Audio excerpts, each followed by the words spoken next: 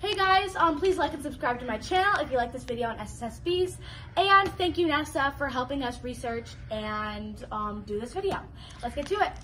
Hey guys, welcome to my YouTube channel. So previously we did a co-op with um, Ella here and we were doing it on Saturn on her channel. So now we're doing another co-op and I'm gonna teach her about SSSBs. What does SSB mean? Okay, so SSSB, um, it means small solar system bodies. And um, small solar system bodies are, so they're smaller than planets, they're smaller than the sun, they're smaller than stars, and they're smaller than dwarf planets. This, they're their own category, and they're made up of um, like rock, they're made up of what we call like space trash. They're really made up of like frozen, frozen objects, um, rock, some gases, um, and dust. So really they're just made up a bunch of like stuff and they're all just smushed together. So, um, what types are there?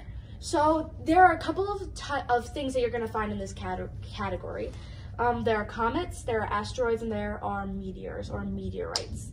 Um, and we can talk about all of them today. Got it. So let's start. Um, let's start with comets. Okay. Um, so comets. So comets, um, they orbit the sun, and comets are made out of dust, rock, frozen gases, and ice. Um, so kind of like I was saying before, space, like they're just like mushed together like dust and rock and gases. Yes. Um, and they have a tail, and this tail can stretch for millions of miles, um, and can it can and sometimes you can see it on Earth, like you can see them in the sky. Um, they comets can also range from a few miles long to tens of miles long. They range, they're very wide and they range very, very much. Um, and yeah, so that's basically that's comets and yeah. Yeah, so let's now go on to asteroids. Okay, so asteroids. Asteroids are just are they're somewhat like comets. They also orbit the sun, and asteroids are rich in minerals and water. Um, they have carbon silica in them, and they also have some metals in them.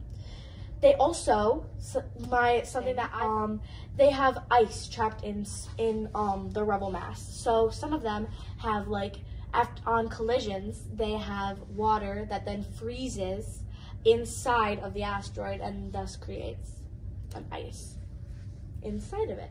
So that's really cool. Um, I thought that was really cool.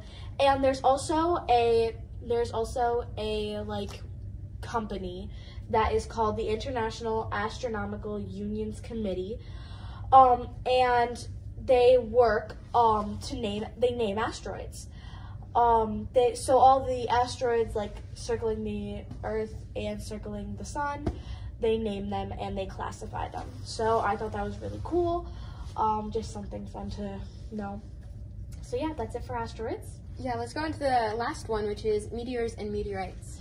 So, a meteor, a meteoroid um, is an object in space that range in size from dust grains to small asteroids.